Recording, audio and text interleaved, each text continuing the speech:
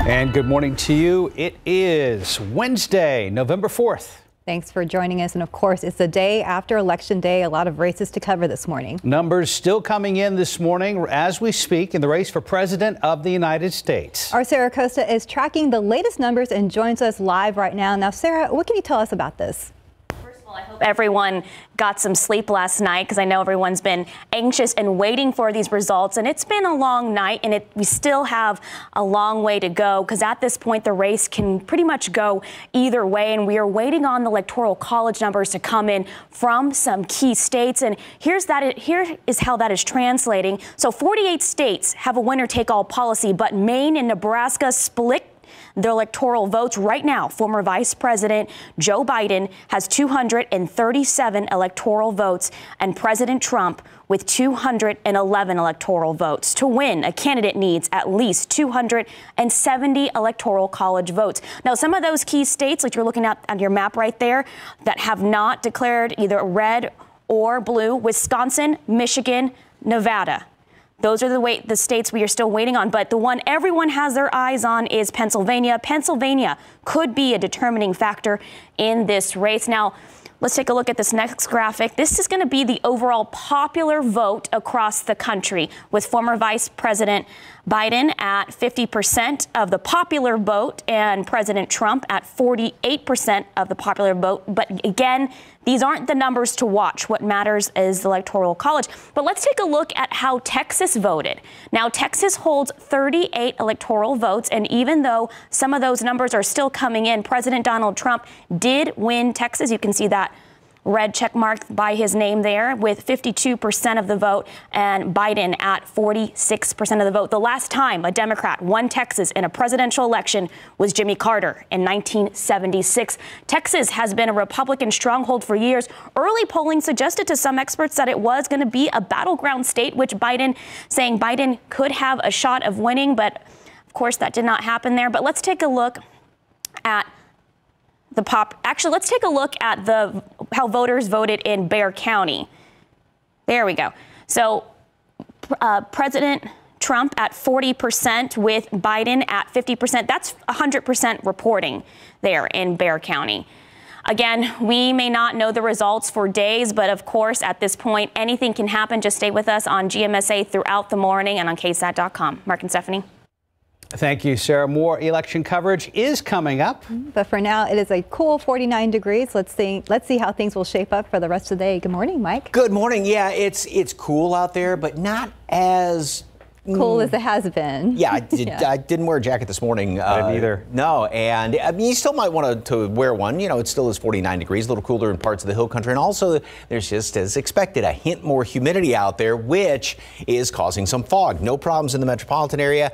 Kerrville, just in about the past hour, dropped down to a mile and a quarter visibility, and that's one little, like, little batch of fog out there. And then also off to the east, Gonzales is now down to a quarter mile. So this early in the morning, we're seeing very thick fog just in pockets, and that usually tends to kind of spread a little bit. So once we get in closer to uh, sunrise, about 6:30, 7 o'clock ish, and just after that, we may see that fog start to spread and get thicker in places. So 49 here in town, mid 40s in the hill country, and we do have a low amount of mold and ragweed. The humidity, which again, it's still not like you walk outside and it's humid out there, but it's been creeping up a little bit. So we will have that patchy fog this morning. Temperatures will stay basically steady, and then we are going to make it up to 80 later on today. That's where we were yesterday. Southeasterly wind, 5 to 10 miles per hour. Still a very, very nice day. That's going to be pretty consistent throughout the rest of the week, but it's the low temperatures that'll creep up, a little more humidity, and a warmer weekend. We'll talk about that and Hopefully a chance of rain, but way down the road. Details coming up. Time saver traffic right now. Here is Officer Marcus Trujillo. Good morning, sir. Well, good morning, Mike. Good morning, everyone at home and those hoping to head home soon from the overnight shift. Right now, as we take a look at the roadways, everything in the green, no accidents out there. So not too bad if you're headed out uh, early this morning. Uh, that's not the right shot, 37 in Carolina. And, well, something seems to be wrong with our TransGuide camera. So we're going to go over to Mark and Stephanie. Thanks, Marcus. Well, the election is officially over. Voting is at least. We're still waiting on results in some races, but we do know voter turnout in Bexar County is impressive. Our Max Massey joins us live from the elections office this morning. Now, Max, we understand the official count came overnight.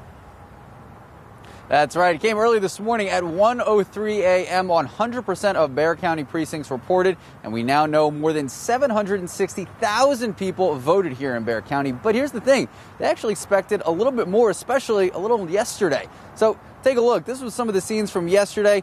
Now, officials expected even more people to vote on election day. Historic turnout for early voting actually gave way to lower than expected turnout yesterday. Election officials had optimistically hoped 175,000 people would show up to the polls on election day. The final figure, less than half of that. Still, though, county elections administrators remain upbeat. They said voters clearly took advantage of those extra days they were given to vote early. We were out and about at the polls yesterday, and, you know, there were a couple instances, some human error things, but overall, we were told it went smooth sailing, it was easy, it was efficient, and we're going to tell you what they had to say coming up at 5 o'clock. Mark, Stephanie? Thank you, Max. Let's go back to the race for the White House. Both President Trump and former Vice President Joe Biden picked up some major wins overnight, and President Trump is even claiming victory. But right now, neither is at that critical 270 electoral college votes. ABC's Faith Abubey is watching the race from Washington. Overnight, former Vice President Joe Biden in Wilmington, Delaware, energizing a car rally of supporters. We believe we're on track to win this election. Biden so far performing as expected as the vote counts roll in across the country. And it ain't over till every vote is counted, every ballot is counted. But we're feeling good. We're feeling good about where we are. The former vice president boosted by wins in traditional Democratic strongholds and the Pacific West Coast, taking California, Oregon, and Washington. And in a surprise outcome, Biden now leading in Arizona. The state of Florida and his 29 electoral votes will go to Donald Trump's. Trump winning the biggest prize so far, taking all of Florida's 29 electoral votes and performing well in rural areas. But as votes are still being counted, Trump in an early morning speech falsely claiming he won the race. This is a fraud on the American public. Frankly, we did win this election. The president also heading to social media and Twitter slapping a warning label on his tweet after he wrote in part, we're up big, but they're trying to steal the election. Right now, the cliffhanger appears to be in the Rust Belt states of Pennsylvania, Michigan, and Wisconsin, key battlegrounds that could decide who wins the White House. Wisconsin officials telling ABC News they expect statewide results as early as today. With votes cast and nothing else to help the race, thousands of anxious voters gathering in D.C.'s Black Lives Matter Plaza as the nation waits for final results. So far, it appears young people did not turn out to vote as expected. National exit polls suggesting that 18 to 29 year olds make up the same percentage of the electorate as they did back in 2016. Faith Abubey, ABC News, Washington. New this morning, a Bexar County Sheriff's deputy has shot and killed a man on the far west side. Happened at a house on Gage Crossing near Talley Road last night. Sheriff Javier Salazar said deputies were called out around 7:30 last night after a man requested their help to get his belongings from a house. There was another person there, and when deputies arrived, they say he pointed a gun at them. That's when deputies opened fire, killing him. And time now, it's 438 and 49 degrees. Outside with live cam. Much more on your forecast coming up. And as we go to break, more election coverage. And here are some results of other races.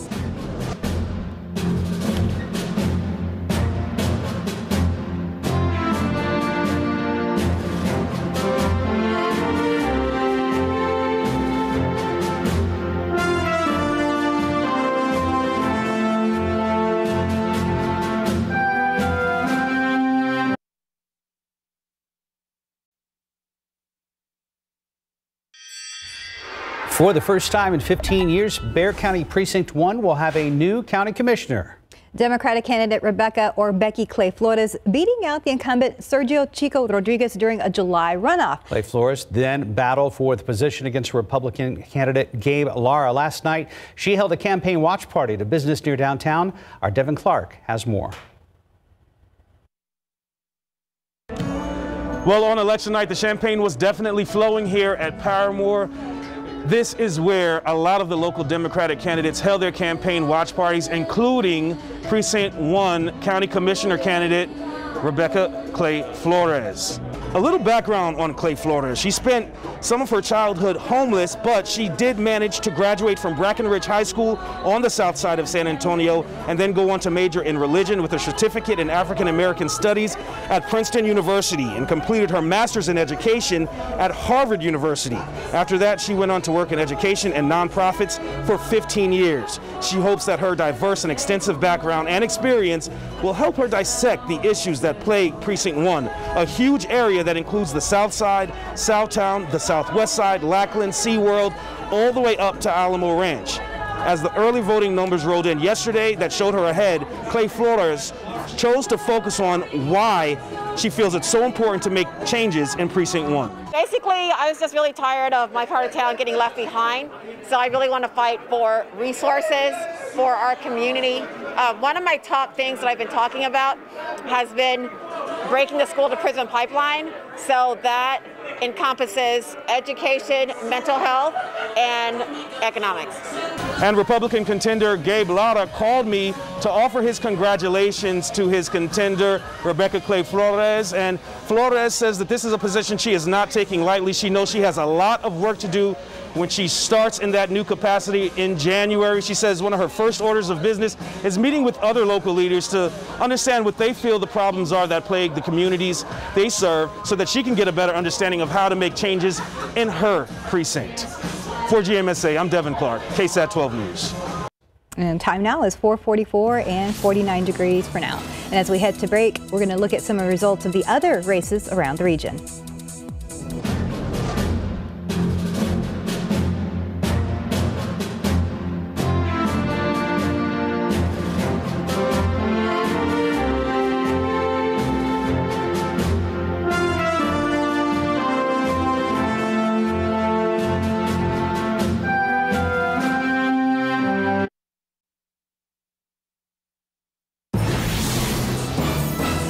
Four forty-seven. Welcome back on your Wednesday. It is November 4th. So I know on the way into work, I saw empty roads, but let's see how things are looking now with Officer Marcus Trujillo.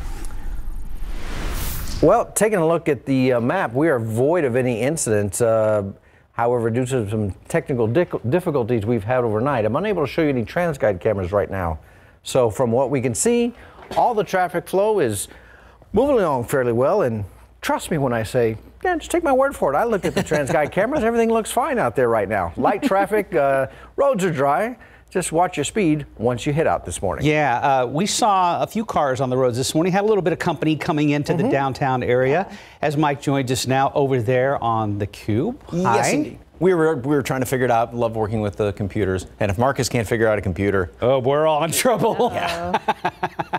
we will take your word for it. Yes. Anyway, uh, another uh, fantastic Look, day yesterday. car.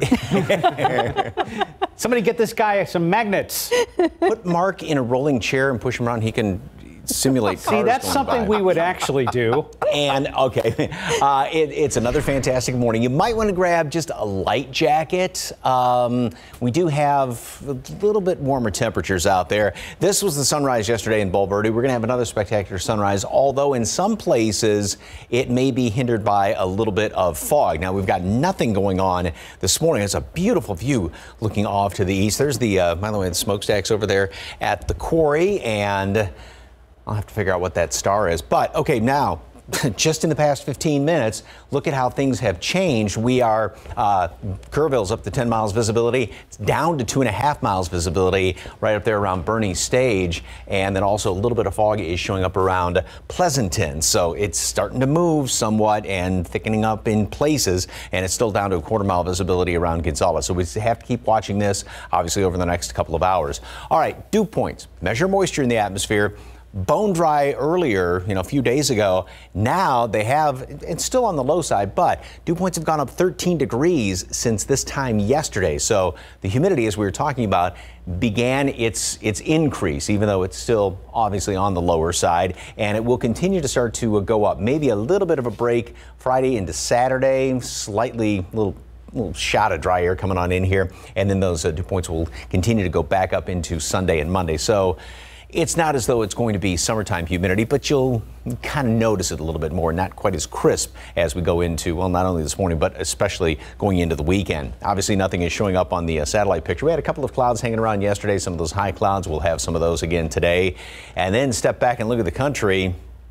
There's nothing out there. I mean, little spots here and there, but just uh, we got that high pressure which is dominating things, and that is not going to be going anywhere anytime soon. We will have some minor fluctuations, but there's no big, huge blasts of cold air coming on in here. We do have a small chance for some rain by Next week, Tuesday, there is a, a front that's going to try and move through here, just sort of trim temperatures a little bit. Not a, a huge one, but hopefully it's going to squeeze out some rain. Anyway, today, mostly sunny skies, 74 at noon. We did hit 80 yesterday, going for that again today. And, and I think temperatures, there are some computer models kind of keeping them upper 70s, going for 80, sort of. Uh, on average around the area. And then we start to creep up a little bit going in toward the weekend. But most noticeably, it's the low temperatures. Yesterday, you know, we were down in the low 40s, and then we'll be around uh, mid 60s by the end of the weekend. So that's the indication of some more humidity around here, and hopefully a chance of uh, a couple of showers by Tuesday. Still a very nice day. Mm-hmm. For today. quite as fall. yeah, no, it's still a nice string of days. Oh, yeah, still great stretch, stretch of weather. Thank you, Mike. Right now we're at 451, 49 degrees. And let's take a look at your winning lotto numbers. Today we have pick 3, 417, Fireball 6, and your daily 4, 2921, Fireball 7. Cash 5, 2, 10, 17, 31, 32, and Mega Million 7, 31, 44, 45, 55, Mega Ball 19, Megaplier 3.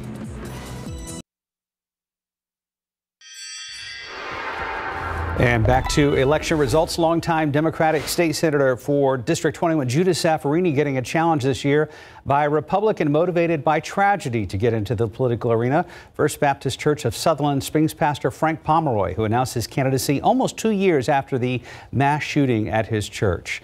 Let's take a look at the results in that race. This is for the entire district right now. Zaffirini with 57% to Frank Pomeroy's 43%. And here in Bexar County, let's take a look at the numbers. Zaffirini with 53%, Pomeroy 47%. District 116 State Representative Trey Martinez Fischer seeking another four years representing Northwest Bexar County, covering parts of San Antonio and Balcones Heights. His Republican challenger, Robert Litoff, who made an unsuccessful run at the U.S. House of Representatives back in 2008. Now let's take a look at those numbers. Right now we are seeing Trey Martinez Fischer with 69% of the vote, and then his opponent, Robert Litoff, at 31% of the vote. Former City Council candidate Liz Campos made it out of the Democratic primary runoff for a November shot at the District 119 state.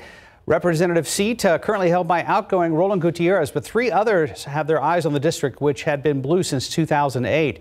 A Republican, Libertarian, and a Green Party candidate. Right now, this is how people in that district have voted. Let's take a look at the numbers as of this morning. With 59% of the votes reporting in District 119, Liz Campos with 62%, George B. Garza, the Republican challenger, with 35% of the vote. In District 125, Democrat Ray Lopez, another candidate who doesn't have a Republican challenging him for his seat, but he's not running unopposed. Libertarian Tony Valdivia was a city council candidate in District 8 last year, and he's taking a shot at state office. And here's that race as it stands right now. We look at Ray Lopez with 80% of the vote and Tony Valdivia with 20% of the vote. That's with 75% reporting. Right now, 456, 48 degrees. More elect.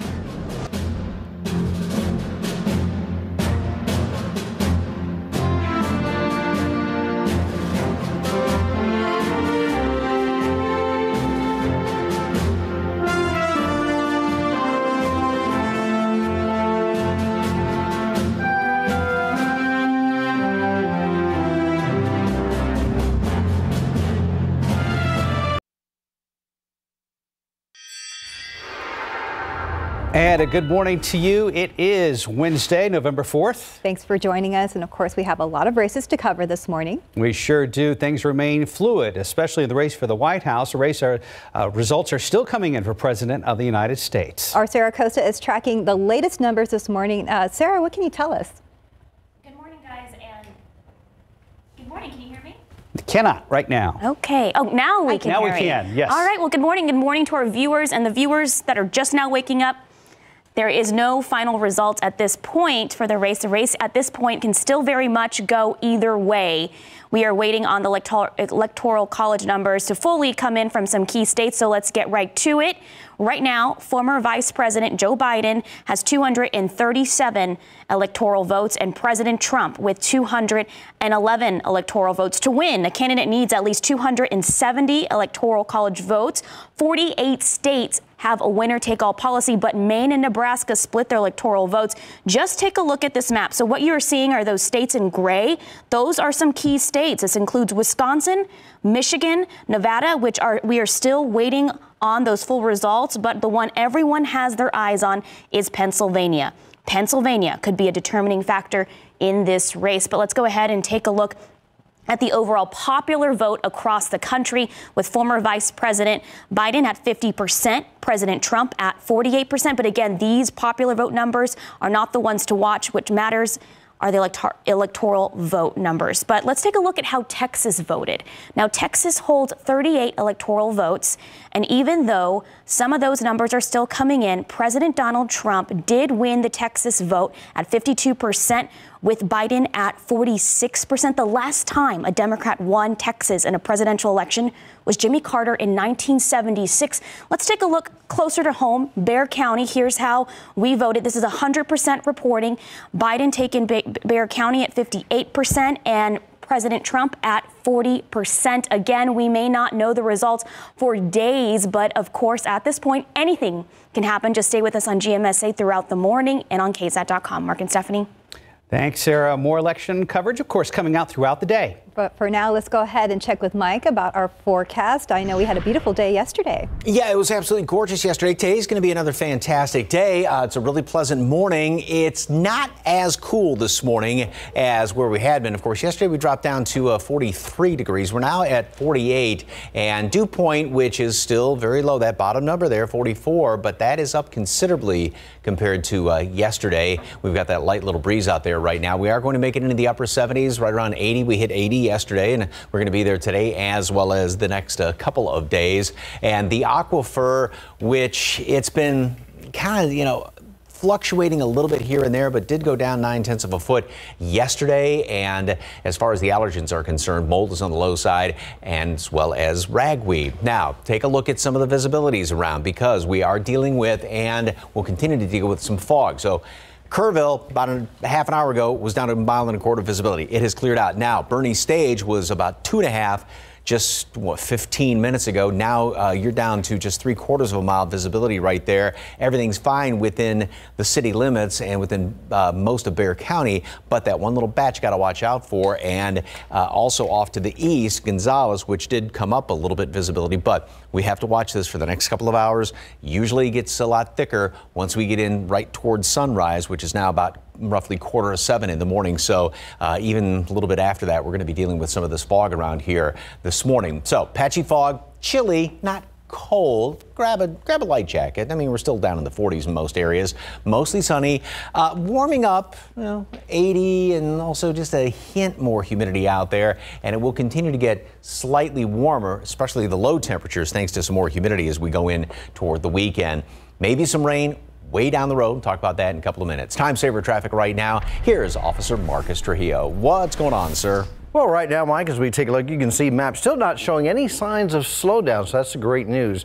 And just to be on the safe side, we'll take a look at a couple of TransGuide, uh, or not TransGuide, but travel time.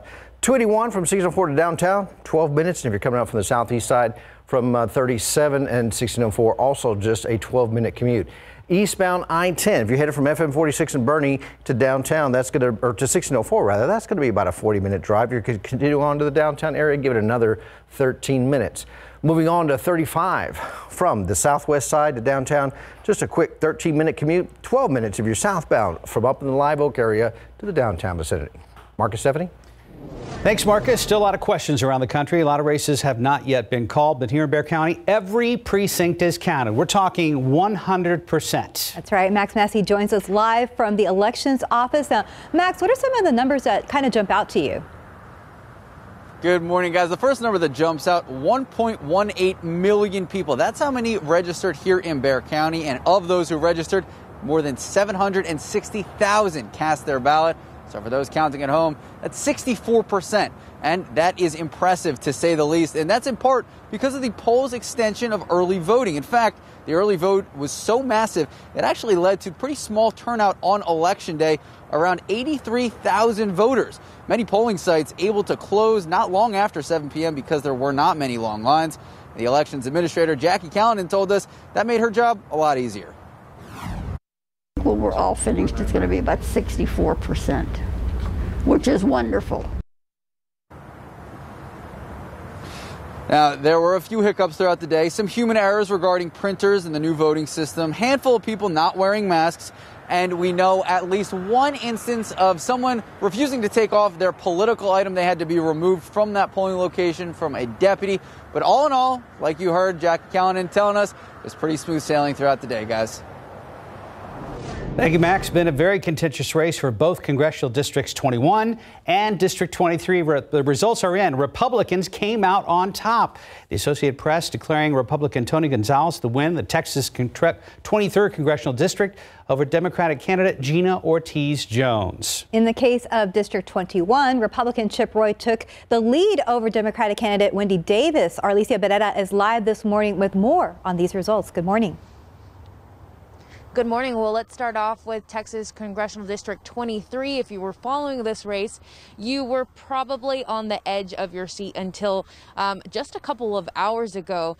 Gina Ortiz Jones and Tony Gonzales really being neck and neck during this entire campaign, and it was no different election night. The AP officially saying that Republican Tony Gonzales took the lead by 12,227 votes. That may seem like a lot, but it's a tiny margin considering District 23 is the largest here in Texas, stretching about 58,000 square miles from the Alamo City to El Paso, and then another 600 miles along the Texas Mexico border. Gonzales says he's put a lot of time and a lot of miles, about 70,000 miles, to visit the numerous counties part of the 23rd Congressional District. And you can count on me that I'm going to show up. To me, this district deserves a congressman that is going to show up, regardless of the size of your county, regardless if you voted for me or did not. And in another race to watch, Congressional District 21, another narrow lead. Republican incumbent Chip Roy wins the Congressional District 21 race against Democratic challenger Wendy Davis. At one point, Roy was in the lead by only 869 votes, the most recent count showing him in the lead by 30,738 votes with 90 97% of precincts reporting. And both of these races really proving that every vote counts. It counted up until the last hour. And since last night, neither Wendy Davis nor Gina Ortiz Jones has commented or made any sort of statement on their social media. Reporting Alicia Barrera, KSAT 12 News. Alicia, thank you very much. 508 right now. We're also watching the state Senate race for District 19. Incumbent Republican Pete Flores running against Democrat Roland Gutierrez, who is giving up his District 119 seat in the state house to challenge Flores. All right, let's take a look at the results right now. This is with 84% of the votes in. Gutierrez at 50%. Pete Flores with 47%. Our Stephen Cavazos has been keeping an eye on this race and has more. Incumbent Republican senator took the seat back in 2018 during a special election. Now, that was a historic win for the Republican Party and Flores, who became the first Republican to serve the district since the Reconstruction era back in the 1870s. But this election year, he faced Democratic opponent, State Representative Roland Gutierrez, who says he wants to see another blue wave sweep through the district once more. Now, both opponents kept a watchful eye on the numbers throughout the night. Flores and his supporters watched the numbers come in at Don Pedro's off Southwest Military, while Gutierrez and a small group of people, including his family, kept it small at his headquarters off Babcock. Again, Flores took the district in 2018 during a special election.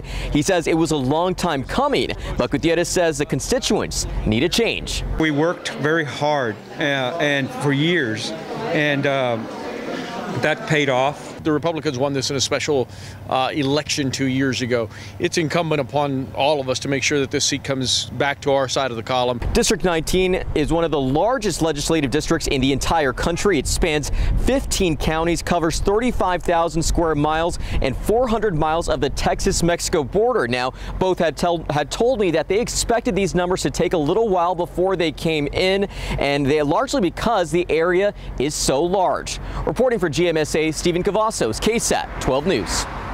And time now is 510 and 48 degrees for now. Let's go outside with live cam. Yeah, it's chilly yet again, but not quite as cold as we've had previous mornings. It seems like for the last week or so. As we go to break, we have the results of other races around our region.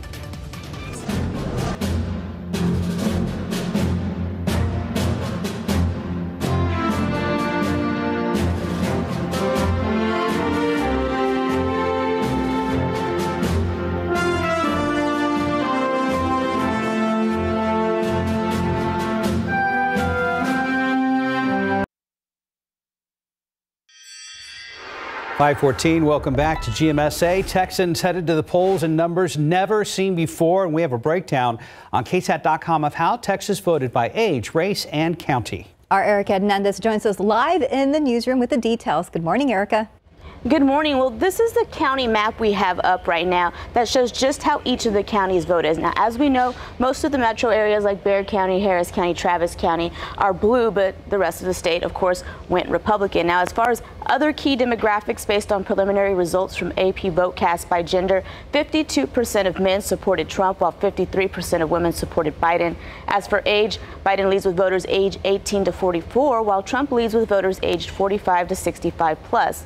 The race number showed that Trump was favored by white voters at 65%, and black voters favored Biden by 89%, and Latinos favored Biden by 67%. Now, this article has further broke down other demographics like education and community type. But another key thing you can find here are what voters in Texas are most concerned about and the most important issue for Texas is the coronavirus pandemic. We have so much more on KSAT.com this morning, including all your execution results. In the next half hour, we'll take a look at the balance of power map for the U.S. House and Senate. Steph, Mark. Interesting insights. Thank you, Erica. Time now is 515 and 48 degrees for now. More election coverage ahead as we go to a break. Another look at some results around the region.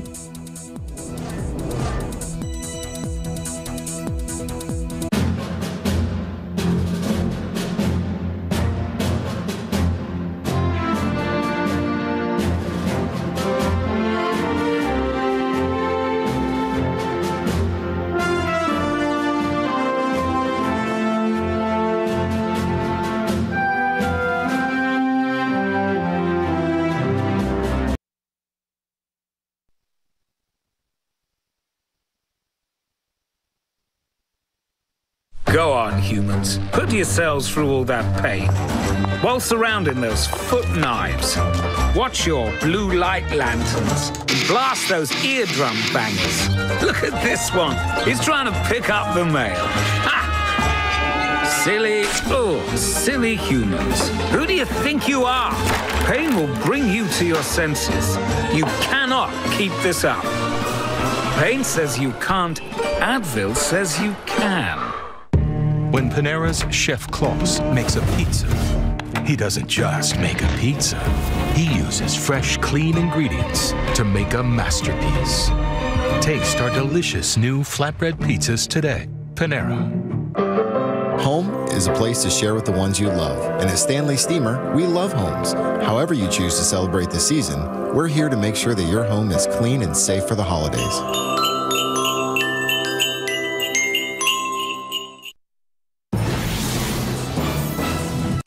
In today's Tech Bites, holiday shopping kicks into high gear. Walmart's first of three early Black Friday sales starts tonight at walmart.com. The online sale runs through Saturday, then starts in stores. Different items will go on sale with the same timelines over the next two weeks. Apple unveils its new Mac computers during an online event next Tuesday. The new Macs will be the first to be powered by processors designed by Apple itself. Those will replace Intel processors that have been in Macs since 2006. Two new MacBook Pros and a MacBook Air are expected. Finally, a Norwegian internet company wants to pay some 1,000s to surf the web. While watching baby videos and checking out memes, the worker will be live streamed on the company's social media channels. It's a two week job for $9,000. Those are your tech bites. I'm Kenneth Moton, ABC News, New York. It's 520. Let's go ahead and check traffic with Officer Marcus Trujillo. And right now, as we take a look, uh, everything still pretty good on the map. A little stalled vehicle there on the access road there of I-10, right before you get to uh, 410 on the eastbound access road. But other than that, things looking great. We are seeing uh, some of the TransGuide cameras. We are seeing a little bit of, of haze, fog maybe, I-10, 604 and also Judson and I-35 area. Thank you, Marcus. Is fog the trend around here for this morning, Mike? Well, I, I don't know if it's a trend, but it uh, it is definitely out there. And where it is, it is really thick. So you go up I-10, like Marcus was just talking about, uh, just out past 1604, heading in toward Boerne, and you're going to run into a really thick pocket of fog. More on that in just seconds. And somebody's getting musical. Here comes the sun. Ta-da. Thank you. Wow, I've got backup singers now this morning. So, anyway, uh, nothing is showing up in this picture as of right now. Looking off to the east, of course, and there's the uh, smokestacks over there at the quarry just to get your bearings. Okay, now all of a sudden Boerne Stage is reporting 10 miles visibility when just a couple of minutes ago it was down to three quarters of a mile. So this is what we are dealing with where it can be real thick and then all of a sudden go away. Gonzales is back down to a quarter mile visibility. So we have to watch out because these little pockets of fog here and there. And like Marcus was talking about, even there on the, uh, the northeast side of town where there is some fog that's trying to show up, but nothing at any of the reporting stations. And again, that's looking at you know, there's four spots, say, around town. In between those spots, you could have some fog in some of the low-lying areas, so watch out for that. All right, there is what is now tropical storm Eta because it did make land. You can see the uh, center of that circulation, but it was up to a very strong Category 4 storm for a while. It is going to continue to work its way across land, so it'll just turn into a, a tropical low. And then, still, forecast is that this thing almost does a complete 180 back on itself, just about making a big dogleg turn, heading in toward Cuba, becoming a tropical storm once again, and then also heading in toward the tip of Florida. And this is by Monday. Then some computer models have this going into the Gulf of Mexico and just sort of wavering around next week for a couple of days, getting picked up by a front and then shot off to the northeast. So uh, it does look like Florida may be affected by this, but not until sometime next week. And as it's looking right now, because we do have a weak front moving through here, about Tuesday or so. So that's going to kind of set up the, the barricade, if you will, to shove that thing off to the northeast. Uh, 48 in town. It's 51 right now in Cut Bank, but then 32 Bismarck. So we do have obviously some uh, milder air around here, although the uh, odd man out is up there around Caribou at 14 degrees. But the really, really cold stuff is kind of easing its way back up into Canada, obviously, and we're not going to see any real big cold blasts anytime in the next, uh, well, we're not going to see cold blasts around here anytime in the foreseeable future, put it that way. 74 degrees today at noon. Mostly sunny skies. We'll have some clouds around this morning, obviously some patches of fog here and there, and then 80 for a high temperature today. Same as we were yesterday. Still a very comfortable day. Kind of notice the humidity a little bit more as time rolls on, and that will be the situation. High temperatures will stay somewhat in check. Yes, a few degrees above normal, but it's the low temperatures that are really good uh, kind of measuring stick on the humidity when they stay in the mid 60s like that by the weekend. All right, so it turns out fog may be trending after all. Yes, indeed. All right, thank you, Michael. Thank you. And time now is 524 and 48 degrees for now. Let's take a look at all your lottery numbers this morning. Pick three, four, one, seven, Fireball six. This is, by the way, with 100% precincts reporting. Uh, Daily 4, 2921, Fireball 7. And we have our cash 5, 2, 10, 17, 31, 32. And your Mega Millions 7, 31, 44, 45, 55, Mega Ball 19, Megaplier 3. Good luck. And welcome back. We are still tracking some results for you this morning right here on GMSA at 527. State Senator for District 26, which covers a large part of Bexar County, Jose Menendez does not have a Republican opponent for a seat at the state capitol, but does have one from the Green Party. Julian Villarreal, a former lecturer and research fellow at the UTSA, says uh, is, is his challenger. Here are the numbers as they stand right now. We've got Menendez with 80 percent. Villarreal with 20%. That's with 62% of the numbers reporting. And Democratic State Representative Philip Cortez has been the representative for a big chunk of western and southern Bexar County. He has two challengers for that seat. Republican Carlos Antonio Raymond, who made a run for state senator for District 19 in that special election two years ago, and Libertarian Tony Quinones, a Navy veteran. So this is how things are looking right now. It looks like Philip Cortez is at 55% of the vote, and we have a Raymond with 41% of the vote. 528, 48 degrees. And more election coverage still ahead. As we go to the break, let's look at some of the results of other races around the region.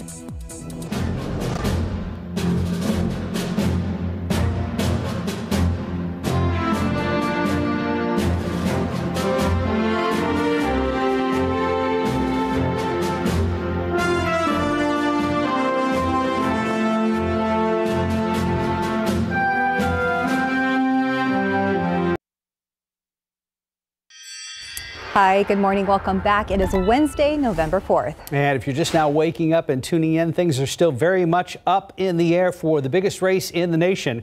We are still waiting on final results in the 2020 presidential election. And here's a look at the popular vote across the country. We have former Vice President Joe Biden at 50%, and we have President Donald Trump with 48% at this point. But again, those are not the numbers to watch. What matters is the electoral votes. And let's take a look at those as of right now. 270 needed to win. And right now, former Vice President Joe Biden has 237. President Donald Trump with 211. We're going to keep an eye on these numbers all day long right here on KSAT and KSAT.com. And Texas has been a Republican stronghold for years. Early polling suggested to some experts that it was a battleground state with former Vice President Biden having a shot at winning. Now, here's a look at the popular vote. We have uh, uh, in Bexar County, this is former Vice President Joe Biden with 58% of the vote, and we have President Donald Trump with 40% of the vote, and this is Bexar County that we're looking at right if, now. Can we go back to the state numbers? Because we, we blew We through those really it, quick. yes. Can we go backwards at all? If not, that's okay. We can move on. Uh, anyway, uh, we know that the president, all right, so there it is right there. Trump winning Texas 52% to Biden's 46%. Key to note here, that's with 89% of the votes reporting, but the president has won the state of Texas yet again. And we have more election coverage coming up. We sure do. But right now, we're going to check on the forecast with meteorologist Mike Osterhage. Hey, and good morning, everybody. One thing we're going to have to watch out for, and there's nothing showing up in this picture, live cam over there, uh, 10 410, looking kind of off to the east, but we've been seeing some patches of fog around the area, and we got to watch out for the next couple of hours because, again, a lot of times it really gets thick right around the time the sun comes up, which is going to be in just over an hour, and then even right after that. So we're at 48 right now.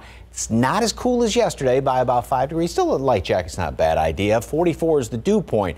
Still well below 60. That's always that threshold number, but that number has come up considerably even compared to yesterday. All right, visibility metropolitan area, everything is fine. Just, uh, what, half an hour ago, it was down to three quarters of a mile around Boerne Stage. Roughly an hour ago, visibility is being reported at about a mile and a half up around Kerrville. But things have improved, but they can then go the other direction very quickly. And then we do have a lot of fog around Gonzales just off to the east. So that's the only reporting station. But again, remember, you know, even these areas in between could be a low-lying spot and there could be a, a patch of fog. Marcus uh, has been saying that he's been seeing little hints of it up there around, uh, say, Judson uh, 35, 1604 area on the northeast side of town. So again, watch out for that. 74 degrees today at noon, 80 for a high temperature. A little bit above normal, still a very, very nice day, but we are going to see humidity creep upward as we head in toward the weekend. Any rain? Maybe. Fingers crossed for that next week. Details coming up in a couple of minutes. Here is Officer Marcus Trujillo, Time Saver Traffic. Well, thank you, Mike. And as we take a look at the map, still looking great. Let's take a look at a couple of TransGuide cameras, folks. So there you have 410 Culebra Road. No problems there. And then 35 at Cesar Chavez here in the downtown area, north and southbound lanes looking pretty good. But those, there's a hint of fog there. 35 at Judson. Just remember, reduce that speed, increase that following distance. Mark and Stephanie? Thank you, Marcus. People in many parts of the country are waking up learning the final voting results uh, could be days away from being finally calculated. In Bexar County, though, it's a much different story. Dillon Collier with more on an elections office that saw relatively smooth sailing. The early vote was so massive it led to a relatively low voter turnout on election day, around 83,000 people. Many polling sites able to close not long after 7 p.m. since there were no long lines this time around. Elections Administrator Jackie Callanen said that made her job much easier. It's been a good day. It, it really has been a good day. And again, I'm just so proud of Bexar County. I really am, from the voters to the election officials to you all. Callanen says the final voter turnout will end up somewhere around 64%, a new record. At election headquarters, Dillon Collier, KSAT 12 News. Three sales tax proposals easily passed by San Antonio voters. The propositions cover education, transportation, and workforce development. Our Garrett Brnger tells us more about them. Two of the sales tax propositions are actually for the same 1 8 cent sales tax. They just be used at different times. The 1 8th of a cent sales tax in question currently funds aquifer protection and the creation of linear creekway parks. After that use expires sometime next year, voters have now approved it for a new use through the end of 2025 a workforce development program. The program would allow underemployed or displaced workers to complete certification programs or finish their higher ed degrees. Mayor Ron Nirenberg, who's been the face of the Proposition B campaign, says it will help 10,000 San Antonians a year. So this initiative helps bridge the gap, helps people get back to work by acquiring the skills for jobs that are sitting open, available in high wage, in demand industries. Um, and, and so I'm grateful that San Antonio invested in that bridge. That use will sunset at the end of 2025. After that, the tax money will go towards public transportation through the Advanced Transportation District. Even though they won't see that money for years, having it secured means they can start to pursue federal money. The third sales tax proposition was for the renewal of the Pre K for SA program. That tax provides the majority of funding for the program and is now set for another eight years. I'm Garrett Brnger, KSAT 12 News. After a long competitive campaign for Bexar County Commissioner Precinct 3, the numbers are in favor of Republican candidate Trish DeBerry. Our Sarah Acosta joins us live with more on this race. Good morning, Sarah. Good morning, guys. I know a lot of early voters, so we knew these results earlier on. And DeBerry, she ran a race focused on small businesses, appraisal reform, and congestion. She says she takes much pride in her grassroots fashion approach. She's had throughout this campaign, having face to face interaction with residents despite the challenges of COVID 19. We've had our challenges and we've had our opportunities, and that's all a part of the campaign. But at the end of the day, I think we touched so many people throughout this campaign, and I'm all about running a campaign that is high touch, multiple touch, personal touch. That's exactly what we did. And DeBerry's opponent, Democratic candidate Christine Hortick, also had plans to help small business owners, transportation, and infrastructure. As the numbers continue to roll in, KSAT will keep you up to date on our latest results on our website at ksat.com. Back to you guys. Thank you very much. As we told you at the top of the newscast, still no word yet on who has won the White House. Several states are still undecided. CNN's John Lawrence reports. A baseless allegation shortly after 2 a.m. Eastern. President Donald Trump disputing ballot counting in the 2020 presidential election. This is a major fraud in our nation. We want the law to be used in a proper manner. So we'll be going to the U.S. Supreme Court. We want all voting to stop. We don't want them to find any ballots at 4 o'clock in the morning and add them to the list. Former Vice President Joe Biden says the election has to be decided by the voters of the nation. As I've said all along, it's not my place or Donald Trump's place to declare who's won this election. That's the decision of the American people. But I'm optimistic about this outcome. It ain't over till every vote is counted, every ballot is counted. The 2020 presidential race coming down to a handful of critical toss up states that could take days to count all their votes. It's those states that will determine the final outcome of the election. I'm John Lawrence reporting. And time now is 540 and 48 degrees for now. Go outside with live cam. One of the things making headlines this morning, other than all these results, we have some fog in the area. Be advised of that. Uh, Marcus and Mike are going to keep tabs on the roads. We'll have more on that coming up. Here's some other race results.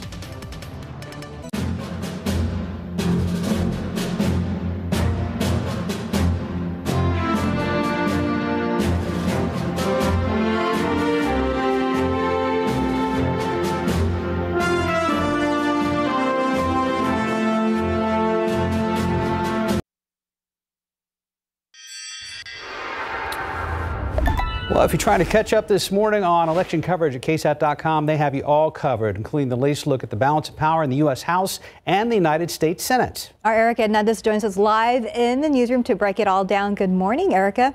Good morning. Well, when you're on the homepage, you're going to select a green box about midway through that says balance of power. As it open up, you'll see a couple of maps of the United States. Now, this is a breakdown of live updates by state. Now, there are two maps, one for U.S. House and one the other for the Senate. Currently, the count in the House is there's 204 Democrats and 190 Republicans. As for the Senate, the count is 44 for Democrats and 47 for Republicans. There are still many states up for grabs at this moment as we still await results. Those states with no results yet will be marked in gray. Right now, for the Democrats to take back the Senate, they need to win a net gain of three and the White House. Now you can stay with KSAT.com with all the results as they are still coming in. The homepage is very user friendly and easy to navigate through to see specific races. Mark, Steph. Thank you, Erica. Time now is 544 and 48 degrees for now. As we've been doing all morning long, we are going to commercial break with the results of other races from around the KSAT 12 viewing area.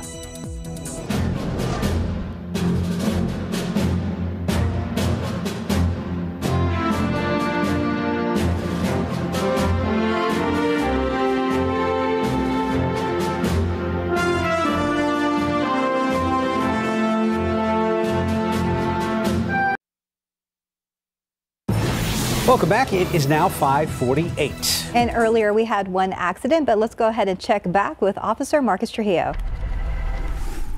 Well, right now, as we take a look at the roadways, we're going to scroll through some different TransGuide cameras where uh, traffic's moving along fairly well. A little bit of fog there, and uh, 410 Culebra, but here in the downtown area, 35, Cesar Chavez, no problems there. There's some more evidence of it, the 35 and Judson. So just remember, reduce that speed. If you've got that moisture in the air, chances are down below, there could be some problems on those turns and curves. So general application of the brake and the accelerator. 410 and Callaghan, so far, no problems there. All right, and we're already midweek, first week of No Shave November. We just want to let you know that our fundraising does continue for the month. Go to ksat.com for more information. And you guys stopped on Friday, right? Or as a Saturday? Friday morning. Friday morning. Before, uh, you know, shaved for coming into work Friday morning, but that was last. So. That was it. That was Friday, it. Saturday, okay. Sunday, so Monday. I shaved Monday. No, I'm just kidding. I wouldn't doubt that. No, starting you to, didn't. it, it's your, anybody starting to kind of no, not it, yet. It's not. It's not bothering me yet. Eh. Yeah, we'll see. But yeah, let it grow. Go to ksat.com for more information. That's good. I understand we have some. I was going to say some pets to be introduced. We do. Yeah, to. let's Or you jump could ahead say to Humane some Society. little furry ones, the one on the left. Oh no. Boy, there's a lot of gray in that picture. Anyway, we want to tell you about some pets, and here's the other little furry ones that need some homes over there San Antonio Humane Society. Bobby was a three-year-old terrier pit bull mix. Look at this guy, and they're kind of going through. He loves to uh, literally walk himself. Go to. Uh, he was a transfer from Louisiana ahead of Hurricane Laura. Leo's five-year-old Chihuahua, the one we just saw, loves to cuddle. And oh, look at that big smile on that guy. Sorry, the pictures are ahead of the uh, script, but. Uh, you saw the fancy sweater right there. Dashies, the five month old little boy, loves to run around, play with all of his cat toys. Not that one, of course. For more information, there we go. Look at those eyes on that cat. Beautiful. Head on over to the San Antonio Humane Society. Uh, their website is sahumane.org, located at 4804 Fredericksburg Road, 210 226 7461 one. Okay, it's so funny because that picture looks like, if you don't look at it, it looks like he's got his arms kind of around there, you know, hugging on mm-hmm. something. So all of them are looking for some really good homes. Nice little furry friends there. Speaking of which, look at these guys. Pups Aw, got in the election day spirit, keeping it positive. Look at the expressions on all the different faces, and I- the guy on the right sticking his tongue out. Uh huh. Well, I like the one with the with his eyes closed, like he's enjoying the sun. Somebody sun. opened up some beef jerky. That's This, what that is. this guy? Yeah, he's like- like, enjoying the sun. Anyway, thank you for the KSAT Connect picture. All right, uh, this shot is looking good still, no problem there. And uh, high temperatures yesterday got up to 80 here in town, 82 Pleasanton. Going to be about the same situation again today, right around uh, some upper 70s, low 80s, and pretty much the rest of the week. That's where we are going to be staying. All right. Just uh, when was the last time I did a quick weather hit? Maybe 15 minutes ago, 20 minutes ago. There was nothing showing up in this map. Now Pleasanton is down to a mile and a quarter visibility, and the fog has returned around Boerne Stage. It went from 10 down to 4 miles, so it can just drop very quickly. Gonzales has improved slightly, and that's really the only spots that are showing up a little bit of fog. But in between some of the reporting areas, so maybe over in toward uh, Randolph, Marcus has said he's been seeing a little bit of fog around. Uh, 35 Judson up towards 1604. So just be on the lookout for that in the next couple of hours. Once again, temperatures, I mean, we're cooler than it is at Cut Bank, Montana as of right now, and even Chicago at 53. They did have a cold blast of air up there to the north, but most of the cold air, with the exception up there in Caribou, uh, is starting to kind of ease back up into Canada temporarily, and we are not going to see any big, you know, drops. Uh, big plunges of cold air coming in here anytime soon. So all of the really cold stuff where the lines, those wind lines are kind of packed together, that's sort of the, the jet stream and really that dividing line between the really cold stuff and what's down here. High pressure is sort of dominating things and that's going to pretty much stay in place. Then we're watching this low and this trough to develop out here. But with this southwesterly flow, that kind of warms things up a little bit more heading in toward the weekend. We get more humidity coming on in here as well. But by about mm, Tuesday during the day, somewhat of a front's going to try and come on through here. Trim temperatures a little bit, trim some of the humidity, and hopefully give us a little bit of rain. But we don't have any big systems coming on in here, unfortunately. So rain chances, uh, this is little, yeah, obviously still a week away, but they're not looking great. 74 degrees, mostly sunny skies today at noon. We have our clouds around this morning, as well as some of that fog, and then mostly sunny skies. Pretty much a repeat of yesterday. Just a hint more humid. So humidity continues to creep up a little bit here and there. Low temperatures, instead of being in the 40s, will stay in the mid 50s, then the low to mid 60s over the weekend. Uh, a few more clouds hanging around here, and hopefully, chance for a couple of showers by Tuesday. Yeah, more than a few would be good. It would be good, and that would be our reward for the humidity that we go through, right? Right, if it would at least get squeezed out in the form of rain, but. Okay. Mm, now, eh, just. Fingers crossed. Right. 553, 48 degrees. Let's take a look at your winning lotto numbers. We have pick three, 417, Fireball 6. Your daily four, 2921, Fireball 7. Cash 5, 210, 17, 31, 32, and Mega Million 7, 31, 44, 45, 55, Mega Ball 19, Megaplier 3.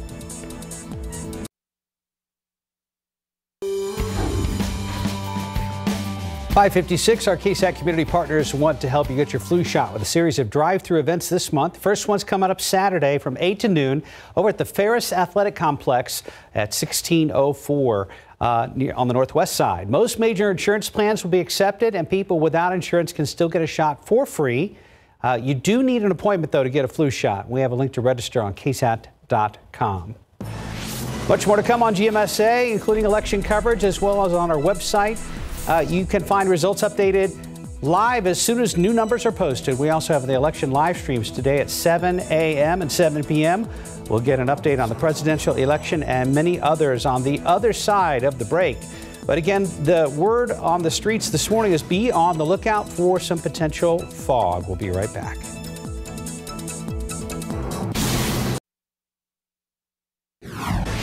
All eyes are on the race for the White House. Good morning. I'm Sarah Acosta, and I'll be breaking down the latest Electoral College numbers.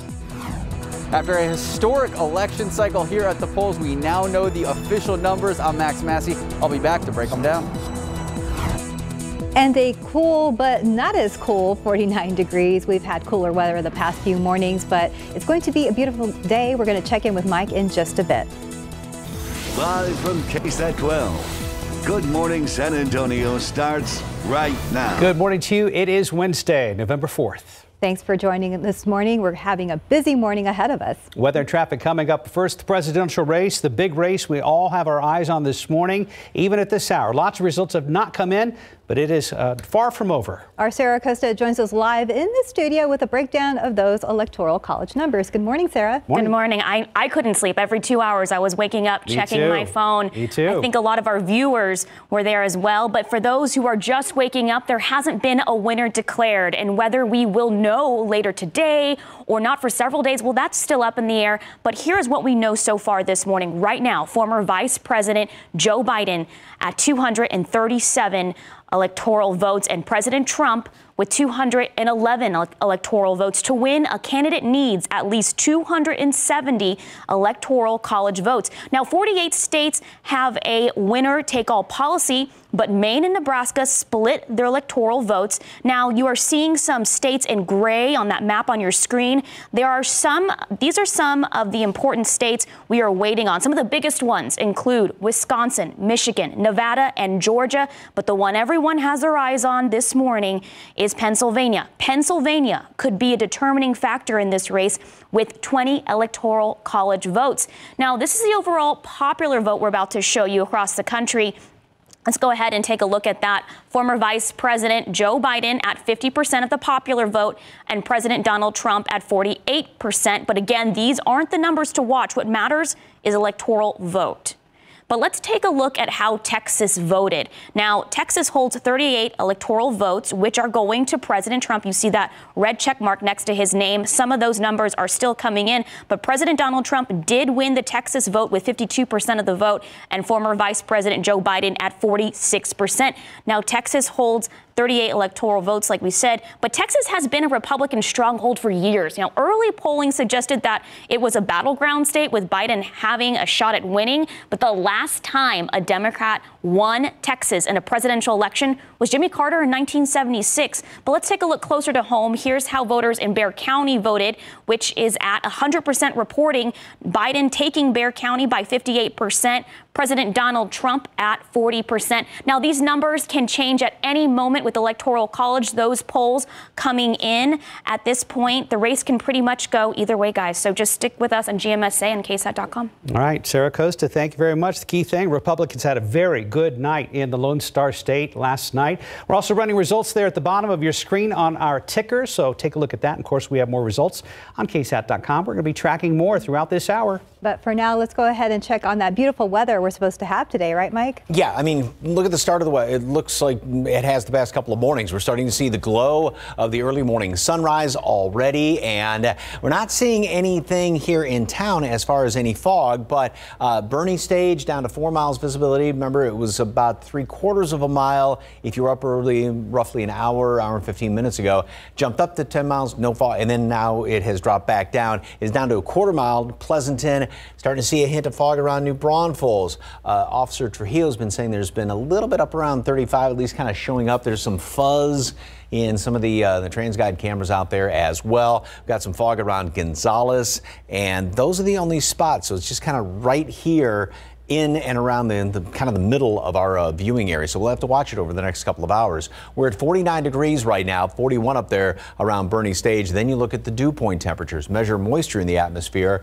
Dew point is identical to the actual air temperature, so 100% humidity. Now that doesn't automatically mean fog, but some other factors come into play, and that's why we're starting to see some of that fog around the area. And uh, mold, ragweed are both on the low side throughout the rest of today. Patchy fog. It is going to be, well, we got you know chilly out there.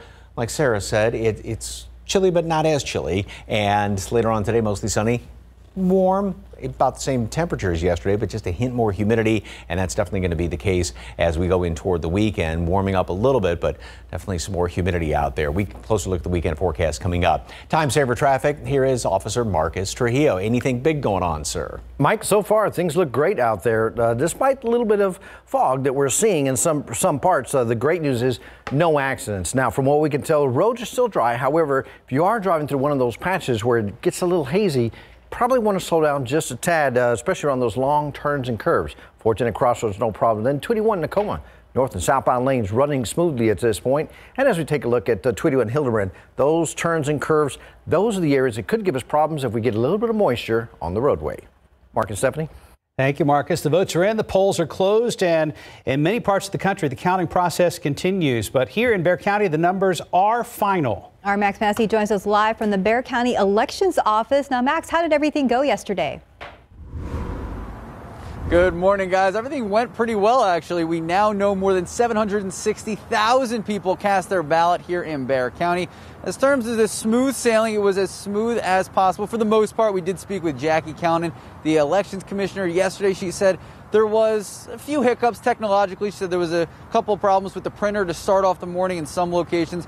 Those were fixed. There were technicians going around the county. And then we do know there was at least one instance of a, a voter who refused to take off a political item. They had to be removed from the polls by a Bexar County deputy. But other than that, the election commissioner telling us it was as good a day as it could have been, and it's as good as an election cycle it could have been for the Bexar County Election Commission because they tell us it is record breaking in terms of people. They say that actually, because of all the early voting, they didn't see that huge influx of voters on election day that they had anticipated. They had thought 175,000 people would vote yesterday.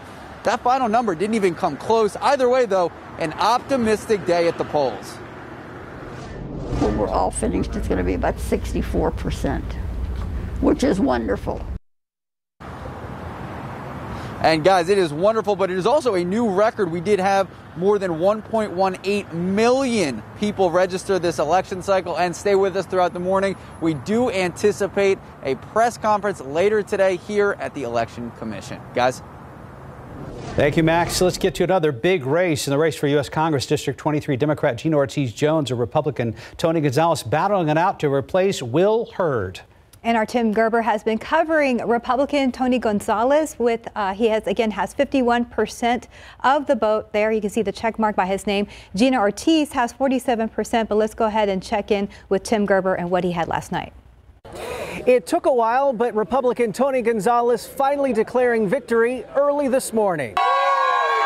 Gonzales and his supporters gathering in the parking lot outside his Northside campaign headquarters to watch the returns come in. The candidate arriving after spending much of Election Day on the road, visiting 12 counties in the sprawling 23rd Congressional District. He said it was important that voters see him in their towns so they know he will be working for them in Washington. And you can count on me that I'm going to show up. To me, this district deserves a congressman that is going to show up regardless of the size of your county, regardless if you voted for me or did not. Gonzales putting a lot of miles on his personal truck during this election. He said it was brand new when the race started, but after today, it had racked up nearly 70,000 miles. He said after a very contentious race with Gina Ortiz Jones, the focus must now be to unite the district, and he plans to do that as he heads to Washington. With the Gonzales campaign, Tim Gerber, KSAT 12 News. And Democrat Gina Ortiz Jones calling the race too close to call. This is for Texas's 23rd congressional district. Our Courtney Friedman followed Ortiz Jones and her campaign. Gina Ortiz Jones knows the drill. She has run this race before. Throughout this whole campaign, the numbers have been very close, reminiscent of two years ago when she went up against incumbent Will Hurd. She lost by less than 1,000 votes. That's a tiny margin considering District 23 is the largest in the state of Texas, spanning about 58,000 square miles from San Antonio to El Paso and 600 miles along the Mexican border. In a press conference last night, we asked her her top priorities, and her answer was based on health care amid this pandemic. This pandemic, though, an economic crisis has only highlighted the need for quality, affordable health care. I mean, that was the number one issue in this district before the pandemic, and it is certainly top of mind for folks now. Um, you know, positivity rates in some border communities is 15% plus. Statistics she's been explaining to the public for over two years.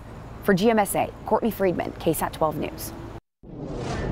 And in the race for U.S. Senate, you can see that Republican John Cornyn is the clear winner here at 54% of the vote. And then we have MJ Hegar with 44% of the vote.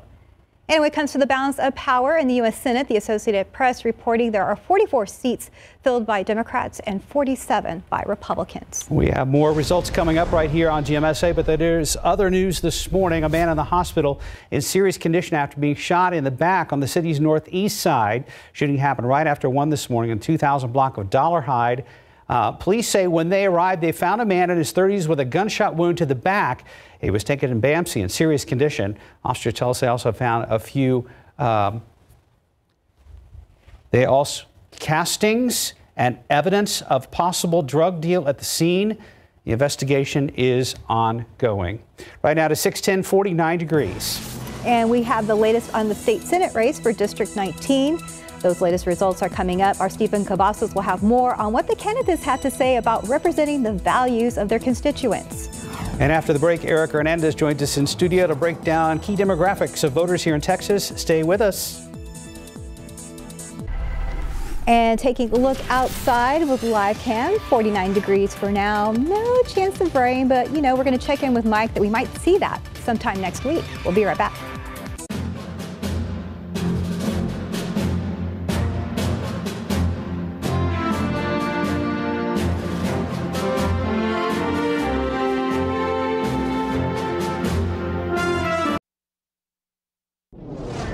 Welcome back. It's 614, a record turnout for Texans at the polls in 2020. Nearly 9.7 million cast their ballots through early voting. Right now at KSAT.com, a breakdown of key demographics right here in the Lone Star State. Erica Hernandez joining us live from our newsroom with more on that. Erica. Hey guys, well, our AP Votecast is a great tool we have on our website right now that breaks down all of the demographics nationally and by state. Let's take a closer look at Texas. As far as key demographics based on preliminary results when it comes to gender, 52% of men supported Trump, while 53% of women supported Biden. As for age, Biden leads with voters age 18 to 44, while Trump leads with voters age 45 to 65 plus. The race numbers show that Trump was favored by white voters at 65 percent and black voters favored Biden by 89%, and Latinos favored Biden by 67%. This article has further broke down other demographics like education and community type, but another key thing you can find here are what voters in Texas are more concerned concerned about. And the most important issue for Texas is the coronavirus pandemic, followed by the economy. We have so much more on KSAT.com this morning, including all your election results. In the next half hour, we'll take a look at a couple of trending articles. Steph, Mark. Thank you, Erica. We also want to remind you about our live streams today. We will have one this morning at 7 a.m.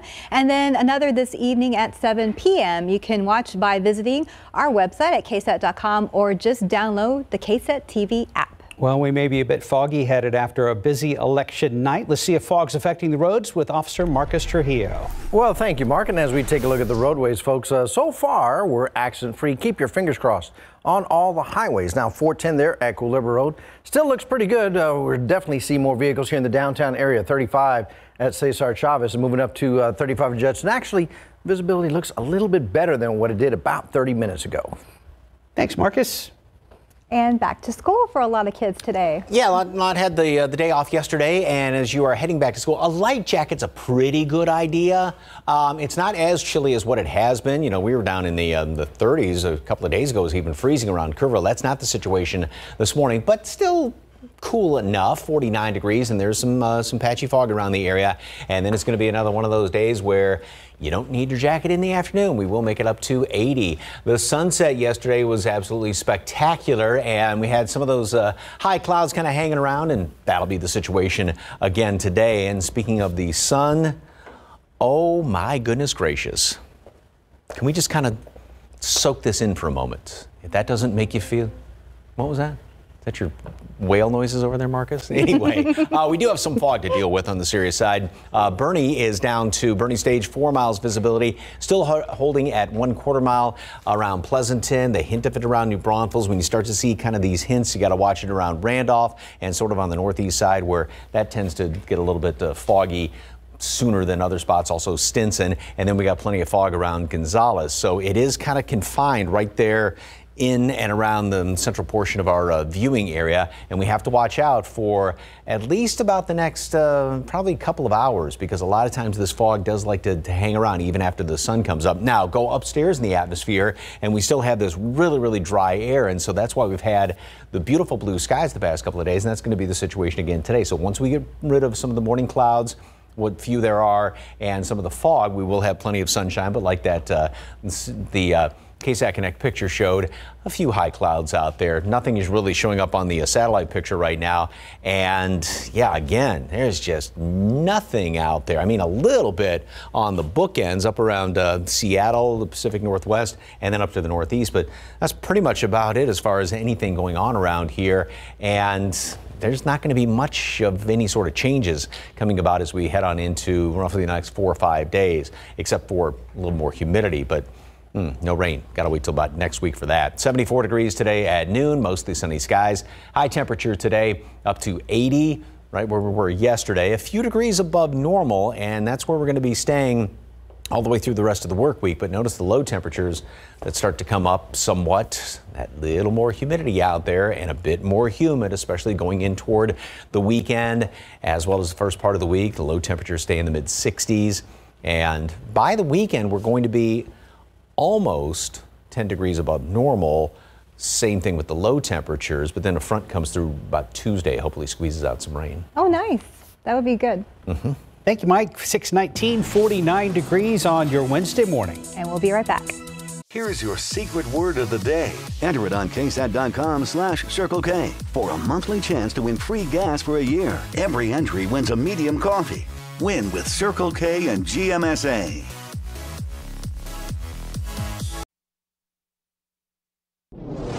And welcome back. It's 622. Let's take a look at the race for Congressional District 20. It's a race that covers a large part of the west side of San Antonio and northwest Bexar County.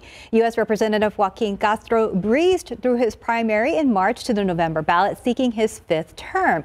His opponent, Republican Mauro Garza, didn't have as easy a time, having to get through a runoff in the primary back in July. So here's a look at those numbers. We have Joaquin Castro with 65% of the vote and Mauro Garza with 33% of the vote. We're also watching the state Senate race for District 19. We are. Incumbent Republican Pete Flores running against Democrat Roland Gutierrez, who is giving up his District 119 seat in the state house to challenge Flores. And let's take a look at those numbers. They are coming up here very, very shortly. Again, looking for State Senate District 119. Gutierrez at 50 percent. Uh, Pete Flores with 47%, and it should be noted this is with 84% of the totals reporting. And last night, both opponents were hoping for the best outcome.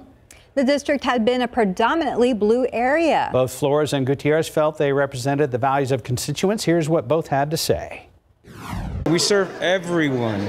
We, we know everyone got, got, got, every county got represented, not just one or two counties, and uh, and I think that's um, something that that people liked. I think that the people of this district have spoken pretty resoundingly that they want somebody that's going to be about progressive politics, progressive ideas that matter in their communities.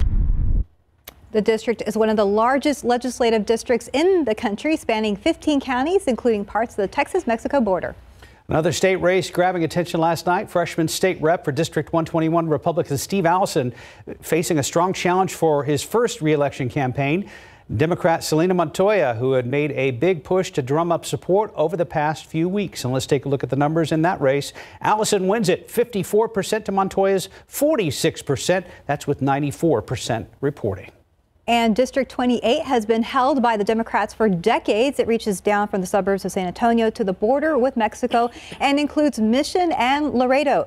Congressman Henry Cuellar has been on the job since 2005, easily winning, winning re-election every two years. Now, this year, term limit advocate and Republican Sandra Whitten has set her sights on that seat. So let's look at those results. We have Henry Cuellar, the winner there at 55%, and Sandra Whitten with 42%.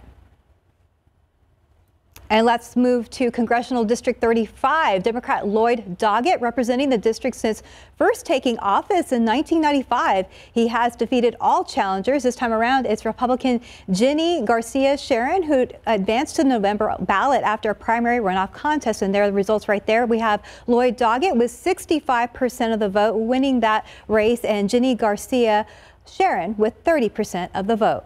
Right now it's 625, 49 degrees. And ahead in our next half hour, what you need to know about the balance of power in our country. Plus, what does it mean to wake up without a winner of the presidential election? We're going to break it all down for you. And TransGuide, the sun is starting to come up. We've got some fog out there. Mike and Marcus will get us up to speed after the break.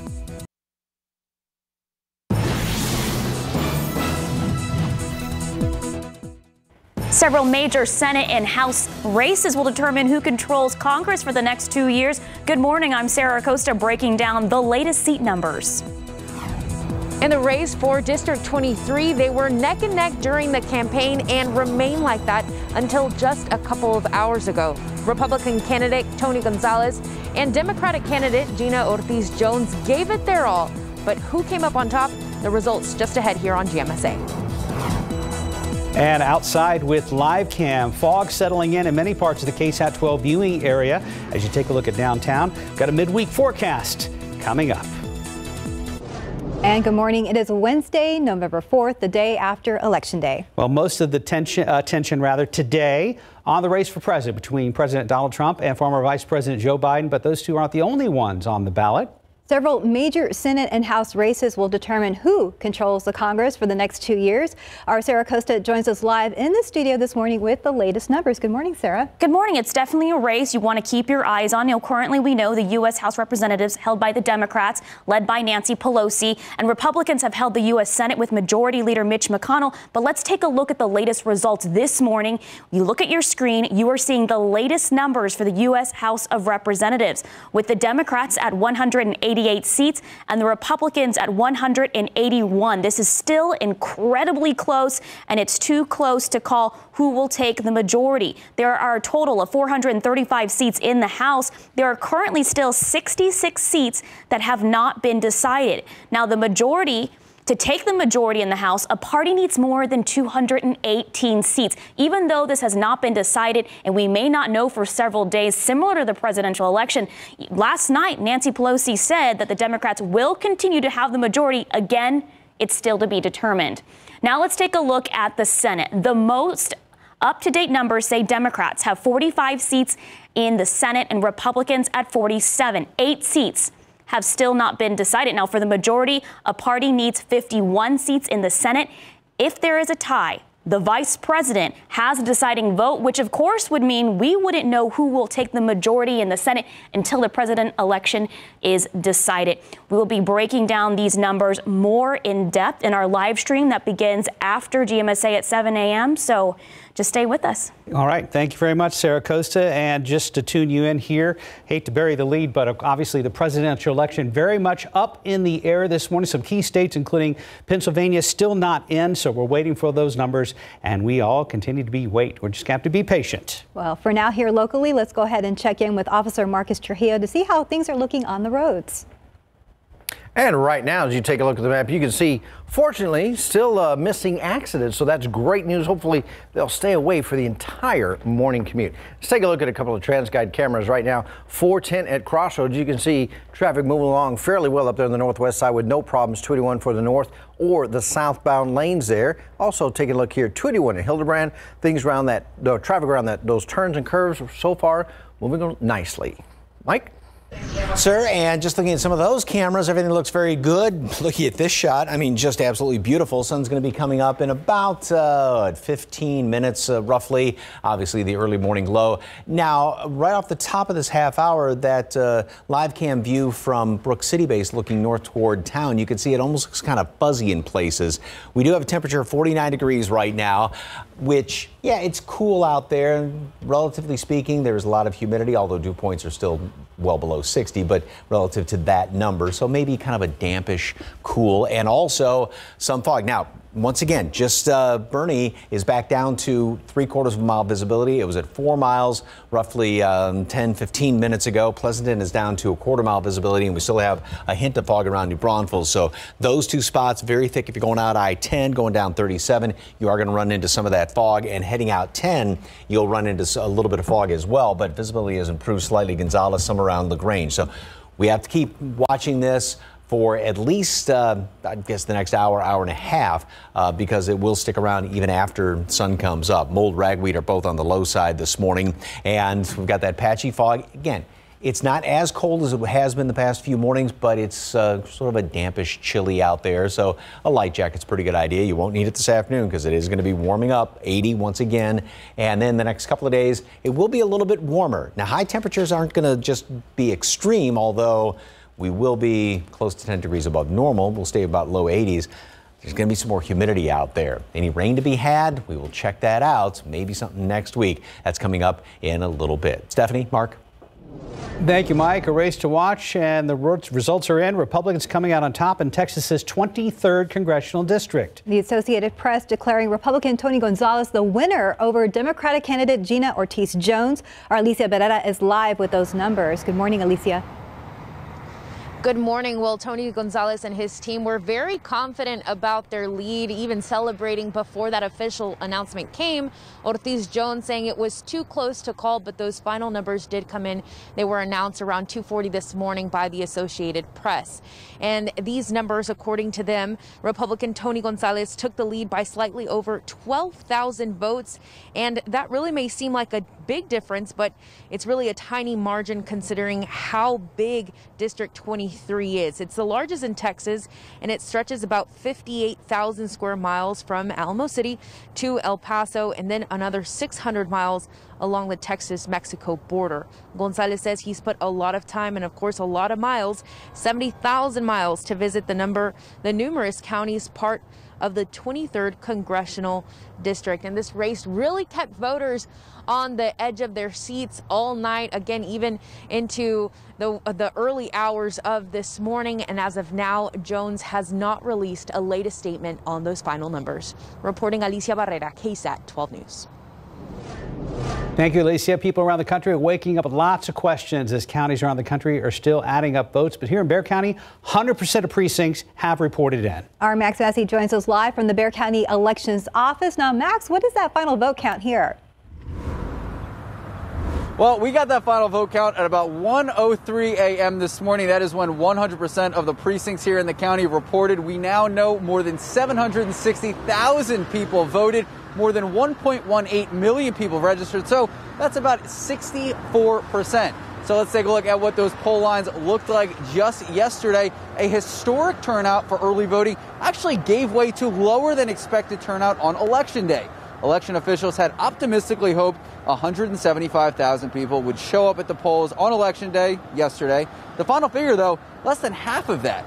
Still, county elections administrators they remained upbeat. They said voters clearly took advantage of those extra days of voting early. It's been a good day. It, it really has been a good day. And again, I'm just so proud of Bexar County. I really am, from the voters to the election officials to you all.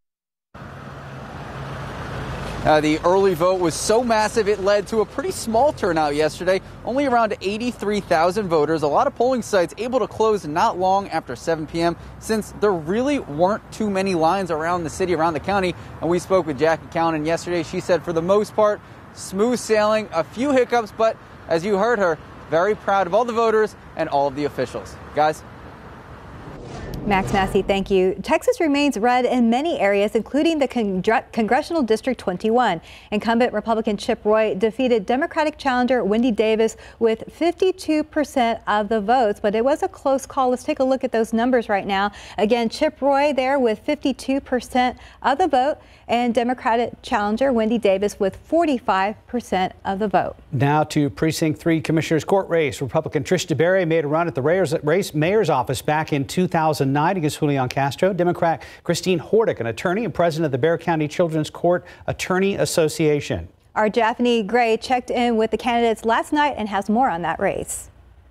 The early vote was so massive it led to a relatively low voter turnout on election day, around 83,000 people. Many polling sites able to close not long after 7 p.m. since there were no long lines this time around. Elections Administrator Jackie Callanen said that made her job much easier. It's been a good day. It, it really has been a good day. And again, I'm just so proud of Bexar County. I really am, from the voters to the election officials to you all. Callanen says the final voter turnout will end up somewhere around 64%, a new record. At election headquarters, Dillon Collier, KSAT 12 News. Well, for the first time in 15 years, Precinct 1 will have a new county commissioner. Democratic candidate Rebecca or Becky Clay Flores beating out the incumbent Sergio Chico Rodriguez during a July runoff. Clay Flores then battled for the position against Republican Gabe Lara. Last night, she held a campaign watch party at a business near downtown. Devin Clark has more. Well, on election night, the champagne was definitely flowing here at Paramour. This is where a lot of the local Democratic candidates held their campaign watch parties, including Precinct 1 County Commissioner candidate Rebecca Clay Flores. A little background on Clay Flores. She spent some of her childhood homeless, but she did manage to graduate from Brackenridge High School on the south side of San Antonio and then go on to major in religion with a certificate in African American Studies at Princeton University and completed her master's in education at Harvard University. After that, she went on to work in education and nonprofits for 15 years. She hopes that her diverse and extensive background and experience will help her dissect the issues that plague Precinct 1, a huge area that includes the South Side, Southtown, the Southwest Side, Lackland, SeaWorld, all the way up to Alamo Ranch. As the early voting numbers rolled in yesterday that showed her ahead, Clay Flores chose to focus on why she feels it's so important to make changes in Precinct 1. Basically, I was just really tired of my part of town getting left behind, so I really want to fight for resources for our community. Uh, one of my top things that I've been talking about has been breaking the school to prison pipeline so that encompasses education, mental health, and economics. And Republican contender Gabe Lara called me to offer his congratulations to his contender, Rebecca Clay Flores. And Flores says that this is a position she is not taking lightly. She knows she has a lot of work to do when she starts in that new capacity in January. She says one of her first orders of business is meeting with other local leaders to understand what they feel the problems are that plague the communities they serve so that she can get a better understanding of how to make changes in her precinct. For GMSA, I'm Devin Clark, KSAT 12 News. All right, let's check on some of those other major Bexar County races. Sheriff Javier Salazar seeking a second term, running against Republican Jerry Rickhoff, former Bexar County clerk. And here are the numbers in that race. With 100% reporting, Salazar wins handily, 62% to Rickhoff's 38%. Pre-K for SA once again won the support of San Antonio voters. The program is best known for offering full-day pre-K at its four education centers around the city. Most of its students attend for free. Voters approved another eight years for the one-eighth of a cent sales tax, which provides most of the program's funding. Well, it says that San Antonio really believes in pre-K for SA and that we've proven that we're a successful program and everybody knows that and they're voting yes to say more investment in early learning. So very excited about that. And voters also approved reallocating a separate one-eighth of a cent sales tax for a workforce development program through 2025, then for public transportation beginning in 2026. 641, 49 degrees. And right now on KSAT.com, we have all the information you need to know about the elections from the presidential race to the latest results on the local races here in Bexar County. Our Erica Hernandez will give us a look on what you can find on our website, still ahead. And welcome back at 645 right now on KSAT.com. Not only do we have your election results, but we have new articles trending this morning. Erica Hernandez gives us a look live from the newsroom. Erica, good morning.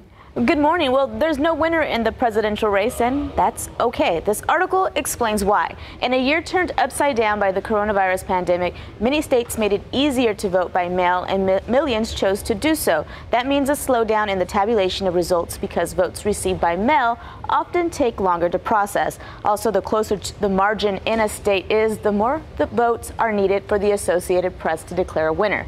The delay doesn't signify a positive for one or the other.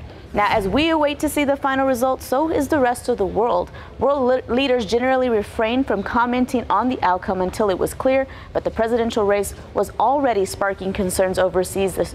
That the sharp divisions and internal conflicts exposed by the election might endure long after the winner is declared. In financial markets, investors struggle to make sense of it all, sending some indexes up and others down. Overall, traditional U.S. allies are clinging to the belief that regardless of whether Trump or Biden emerged as the winner, the fundamentals of America's key relationships would survive the uncertainty. We have so much more you can sift through on our website right now. And don't forget, we still have two live streams today, one after the show and the other this evening at 7. Mark, Steph? Thank, Thank you, Erica. Thank you. No Shave November continues. We are well on our way to a very hairy week right now. Um, let it grow. Join the fight against cancer. Uh, the link to donate to our team is on ksat.com. And if I recall, you have to click on individual people to donate. So uh, feel free to, to donate to me, Marcus, Mike, anybody. That's the biggest hint hint I've ever heard. to, to, to, to donate? Yeah. Yeah. We By have means. individual links. By all means, feel free to thank you. Begging for votes. Right. feel free to donate on uh, for Marcus, Officer Trujillo, or Officer Marcus Trujillo. Any one of those three. Yes. Right. See, exactly. Yeah, that is so subtle. I need to I need to work on that. yes. Since Marcus is talking, let's let him keep going. and right now, the traffic looks pretty good out there, so we're going to move around to different TransGuide cameras, uh, show you I-10, 1604 area. No problems there. 410 and Callaghan starting to pick up in volume on those eastbound main lanes, westbound not so bad. And then the interchange I-10, 410 so far looking pretty good. No matter who you uh, donate to, though. Yes. The money all goes the It'd be place. best if it was me, but all that money then goes to obviously the Yes. awareness of cancers in men and St. Jude. St. uh, St. Jude, uh, Fight Colorectal, and another cancer foundation. But they're on, uh, yeah, we've got more of that info on ksat.com. Yes. And you have all month to do this. That's right. Hey, we're going to go get ready for our But do it live today. stream. What? But do it today. Do it Yes. today. Because you'll forget. We're going to go get ready for our live stream. You guys are large and in charge. Yep. Bye. Wow, left us in charge, Marcus. There we go. hey, look at this picture yesterday. The sunset and that little bit of a wisp up there with the contrail of a jet flying over. Beautiful. We've got a lot of dry air upstairs in the atmosphere, and that's why we've. Okay, we haven't seen this yet. There's the perfect little, just that. Mm, Kind of coming above the horizon. Notice how there's a little bit of fuzz, though, right there along the horizon. We've got the humidity is now, you walk outside, it's not like you sweat, obviously, but relative to the temperatures, the humidity is fairly high this morning, and so that's what's causing some fog. So, three quarters mile visibility, Boerne, Pleasanton, just what? 10 minutes ago, 15 minutes ago, was down to a quarter mile. Now it's up to four. So obviously it's going back and forth. We'll still have to be dealing with some patches of fog over the next uh, couple of hours. Elsewhere, it's not bad, but just kind of be on the lookout, especially low lying areas. And then Gonzales, some fog is being reported, and that's pretty much about it. 49 degrees in town, 45 Port SA. Cool, below normal, but not as chilly as it has been the past couple of mornings. And then you look at these dew point temperatures, the measure of moisture in the atmosphere. Boerne Stage, the air temperature was 41, and so was the dew point temperature. So 100% humidity. That doesn't automatically mean fog, but obviously that's a big contributing factor to that fog. We've got some clear skies, obviously, some very, very light wind on top of that. And what's interesting too is dew points have gone up considerably, about 5, 10, close to 15 degrees just in the past 24 hours. And that, as we were talking about, was going to definitely be the trend. That the beginning of the return of the dew point would start yesterday, which it obviously has done the beginning of the return of the humidity, I should say, in those dew points, and they will remain on the higher side. A little bit of a uh, kind of a dry little batch comes in here Friday night into Saturday, and then uh, the humidity dew points are going to go back up Sunday and Monday. But then hopefully that leads to a little bit of rain. We will have a front moving on through here. Looks like uh, Tuesday. It's not a big blast, but it'll trim temperatures a little bit, trim some of that humidity, and hopefully squeeze out a couple of showers. 74 degrees today at noon, mostly sunny skies, and then a high temperature today up to 80, where we were yesterday, but just a hint more humidity. Not like you're going to be sweating from it, but kind of notice it a little more, and that'll be the situation over the next couple of days with the uh, high temperatures, well, eventually about 10 degrees above normal. Low temperatures will be in the mid 60s by the weekend. And again, hopefully a chance for some rain on Tuesday. Okay, still ahead, and right after GMSA, we are going straight to our live stream with continuing coverage of the elections and what we know so far nationally and here in Bexar County. Again, that is right after GMSA at 7 o'clock. First of all, here's a look outside with live cam. Boy, it doesn't get any prettier than this. Another gorgeous day. Enjoy it. We'll be back. Good morning. I'm Max Massey. We are here at the Elections Commission, and as of 1:03 a.m., we now know that 100% of Bexar County precincts have reported. We know 1.18 million people registered to vote, and of them, more than 760,000 people actually voted. Now, there were a few hiccups throughout the day, but the Elections Commissioner is telling us that for the most part, it was smooth sailing. They had a few technological issues in the beginning of the day. They even had to remove someone, at least one person, from the polls because they refused to take off their political item. But for the most part, a good, efficient day of polling. Reporting live from the Election Commission, Max Massey, KSAT 12 News. Good morning. I'm Alicia Barrera, and the big question who will fill the seat for District 3 congressional left by Will Hurd? This was definitely a race that kept many voters on the edge of their seat until early hours of this morning. And according to the AP, the race was announced. Republican candidate Tony Gonzales came out on top over Democratic candidate Gina Ortiz Jones. According to the AP, Republican Tony Gonzales took the lead by slightly over 12,000 votes. That may seem like a big difference, but keep in mind, District 23 is the largest in Texas and it extends all the way to El Paso and also covers some of the Texas Mexico border. 600 miles to be exact. With Gonzales win, the Texas border district remains now in the hands of the GOP. Reporting live, Alicia Barrera, KSAT 12 News. Well, thank you, Alicia. And folks, as we take a look at the roadways, 410 and Crossroads, no issues. However, in the downtown vicinity, northbound main lanes of 37 at Cesar Chavez, we do have an accident, minor accident, currently in clear stages, blocking the two left-hand lanes. But 21 and Hildebrand, no problems there. Mike? Grab your sunglasses again this morning and look at that sunrise. Now, there's a little bit of fuzz right there along the horizon. We do have some fog to deal with going up I 10 in toward uh, Boerne Stage, uh, down around Pleasant, and a hint of it. Watch out this morning. Some is showing up around Stinson as well. We are in the 40s right now, and we are going to be uh, seeing a high temperature up to 80 later on today. Thank you, Mike. And we are minutes away from live stream on KSAT.com and the KSAT streaming app. Otherwise, Good Morning America is next. Have a great day.